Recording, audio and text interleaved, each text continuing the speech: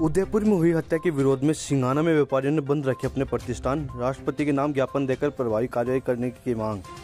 उदयपुर में हुई कन्हैयालाल की निर्मम हत्या के विरोध में सोमवार को सिंगाना के व्यापारियों ने अपने प्रतिष्ठान बंद रखकर विरोध जताया।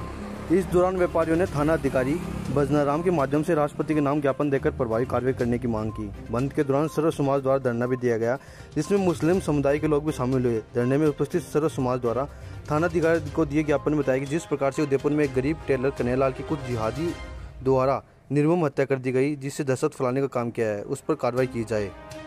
इस मौके पर भाजपा नेता सतीश गजराज, विकास बालोटिया, नीता यादव, मोहनलाल गुप्ता, पवन अग्रवाल, डीपी सैनी, मनफुल डेला, शकूर खान सबीर खान, आसिफ खान, यासिन खान नगेंद्र तिवारी उप सरपंच विक्रम सिंह मैक्स सत्यनारायण गिरधारी सहित सैकड़ों लोग उपस्थित रहे। सिंगाड़ा के समस्त नागरिकों ने उदयपुर और उदयपुर जैसी घटनाएँ पूरे देश में जहाँ जहाँ हुई है।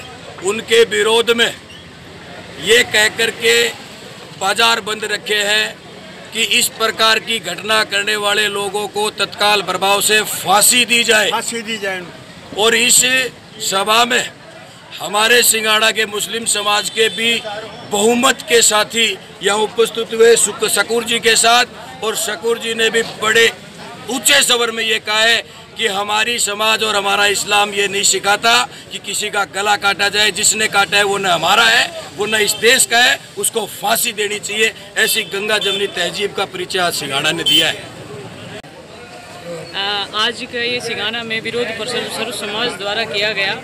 कन्हैया लाल जी के साथ जो एक जघन्य अपराध हुआ है उसके लिए सभी समाज ने संगठित होकर एक ही मांग की है कि जितने भी इसमें शामिल हैं उन सभी को फांसी की सज़ा एक महीने के अंदर दी जाए।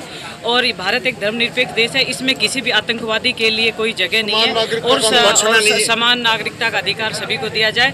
इसके साथ साथ आज शकूर जी ने भी एक हमारे मोहम्मद मोमडन भाई हैं जिन्होंने अपने पूरे परिवार के साथ अपने समाज के लोगों के साथ इस आज सभा को इस विरोध प्रदर्शन को इस रैली को अपना समर्थन दिया है। तो ये दर्शाता है कि सबसे पहले हम भारतवासी हैं और इस तरह जो ये, इस तरह का जघन्य अपराध, जो ये आतंकवादी विचारधारा के लोग हैं, इनकी न समाज में जगह है, न देश में जगह है।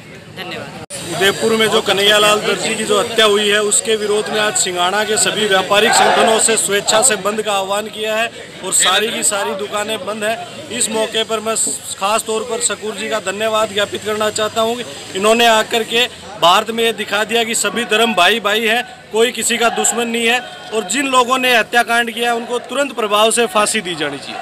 मांग ये कर रहे हैं कि उनकी फांसी होनी चाहिए। और हम मुस्लिम समाज सब साथ हैं।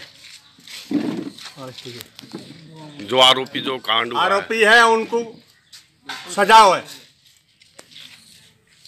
का आह्वान हुआ है उसका हम पूरा मुस्लिम समुदाय समर्थन करते हैं हम रैली में भी शामिल हो रहे हैं और जो भी उदयपुर के अंदर कन्हैया हमारे भाई कन्हैया लाल के साथ जो भी हत्याकांड हुआ है उनका उसका हम गौर मतलब निंदा करते हैं और उन दोषियों के लिए हम फांसी की सज़ा मांगते हैं और राजस्थान की गवर्नमेंट अशोक गहलोत जी से हम यही निवेदन करते हैं कि मतलब उनको जल्द से जल्द फांसी की सज़ा सुनाई जाए और कानून से भी हम यही अपील करते हैं ताकि ये का, काम दूसरा कोई और ना करे और हम उनको मतलब पूरा मुस्लिम समुदाय उनके लिए हम मतलब फांसी की सज़ा मांगते हैं।